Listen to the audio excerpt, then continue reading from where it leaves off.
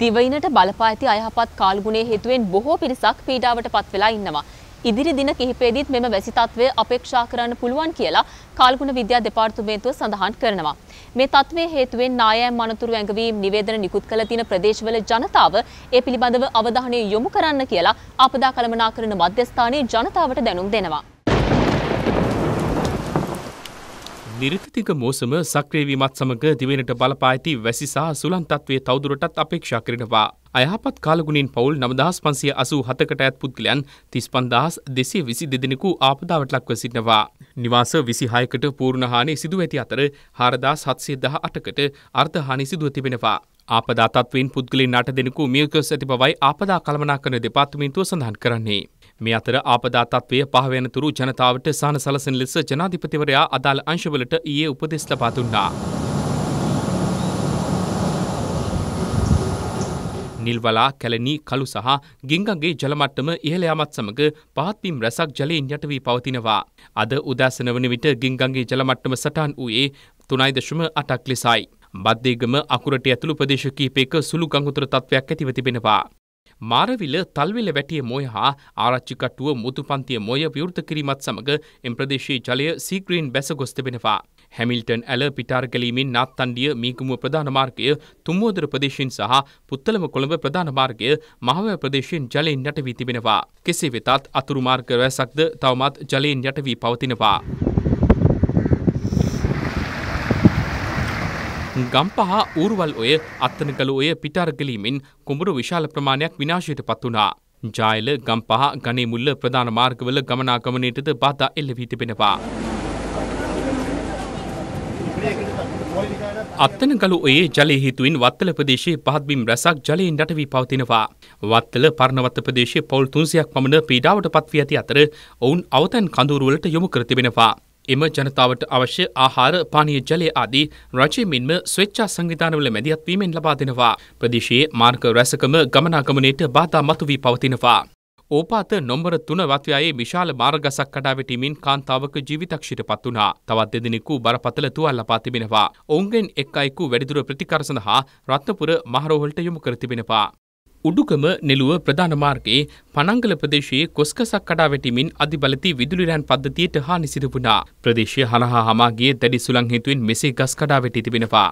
මේ අතර කොළඹ නගර සීමාවේ ඇති අවදානම් ගස්සල වගකීම එහි හිමිකරුවන් භාරගත යුතු බව කොළඹ නාගරික කොමසාරිස් බද්රානී ජයවර්ධන මහත්මිය පවසනවා. පෞද්ගලික ඉඩම් සහ රජයේ ආයතනවල ගස් වැටීමට ලක්විය හැකි බවට පැමිණිලි ලැබී ඇති බවයි ඇය කියා සිටින්නේ. තමන්ගේ ඉඩමේ ඇති සියලු දේපළවල ආරක්ෂාව පිළිබඳ වගකීම ඒවාහි හිමිකරුවන් සතු බව කොළඹ නාගරික කොමසාරිස්වරය කියා සිටිනවා.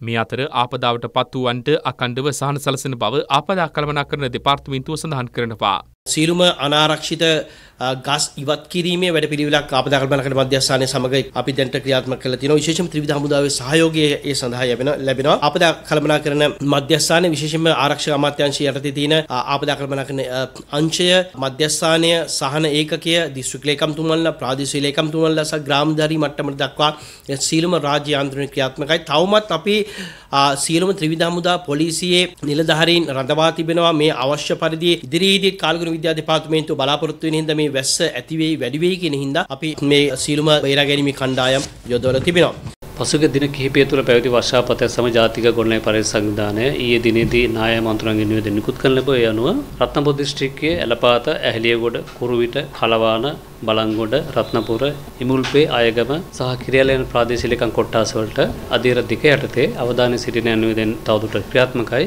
ඊට අමතරව කොළඹ දිස්ත්‍රික්කයේ පාදුක සහ සීතාවක යන ප්‍රාදේශීය ලේකම් කොට්ටාස වලටත් ගාල්ල දිස්ත්‍රික්කයේ තවලබ සහ නෙළුව යන ප්‍රාදේශීය ලේකම් කොට්ටාස වලටත් ගම්පහ දිස්ත්‍රික්කයේ අත්තනගල්ල ප්‍රාදේශීය ලේකම් කොට්ටාසයටත් කල්තර දිස්ත්‍රික්කයේ බුලත්සිංහල ඉංගිරිය වලල්ලාවිට පාලින්ද නුවර අගලවත්ත මතුගම සහ දොඩංගොඩ යන ප්‍රාදේශීය ලේකම් කොට්ටාස වලටත් මහනෝ දිස්ත්‍රික්කයේ උඩ පළාත ප්‍රාදේශීය ලේකම් කොට්ටාසයටත් කෑගල් දිස්ත්‍රික්කයේ දෙහියෝවිට ගලිගමුව කෑගල්ල යටියන්තොට රුවන්වැල්ල මාවනැල්ල වරකපොළ බුලත් කොහුපිටිය දැරණියගල සහ හරණායක යන ප්‍රාදේශීය ලේකම් කොට්ටාස කොට්ටාස වලට නුවරඑළිය දිස්ත්‍රික්කයේ කොත්මලේ සහ හඹගම කෝරළයන් ප්‍රාදේශීය ලේකම් කොට්ටාස වලට රත්නපුර දිස්ත්‍රික්කයේ කහවත්ත නිවිතිගල ඕපනායක සහ පැල්මඩුලෙන් ප්‍රාදේශීය ලේකම් කොට්ටාස වලට අධීර එක යටතේ විමසිලිමත් බව සිටින යන නිවේදනය තවදුරටත් ක්‍රියාත්මක වන කාලකුණු විද්‍යා දෙපාර්තමේන්තුව සඳහන් කළේ අද දිනෙත් ඇතැම් ප්‍රදේශවලට මිලිමීටර සියයෙක්ම වූ තද වැසි ඇතිවන බවයි.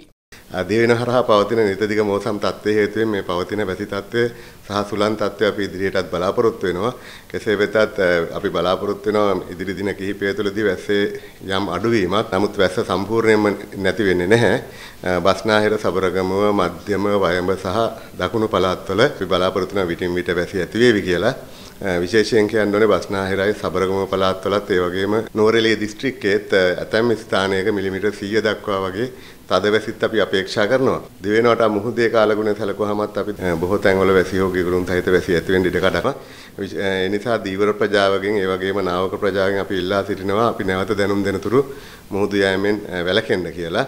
ඒත් එක්කම කියන්න ඕනේ කල්පිටිය සිට කොළඹ ගාල්ල හරහා හම්බන්තොට කොතුවිල් දක්වා වන වෙරළට ඔබ්බෙන්න වන මුහුදු ප්‍රදේශ ඇතැම් අවස්ථාවල ඉතාරලු වීමේ ඉඩ කඩකුත් තියෙනවා.